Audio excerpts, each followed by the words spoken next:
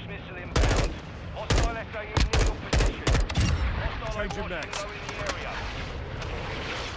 Hostile UAV in the area.